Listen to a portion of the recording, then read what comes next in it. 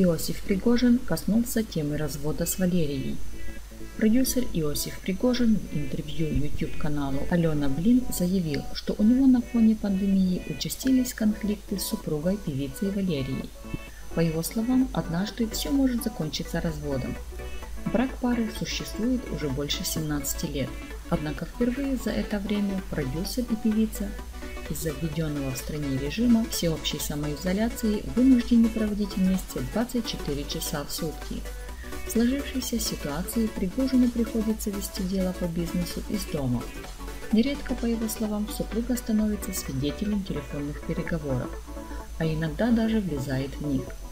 Если я на эмоциях говорю «пожалуйста, Лера», она отвечает «вот таким тебя должны люди увидеть, какой ты злой». На этом фоне возникает конфликт, пояснил продюсер.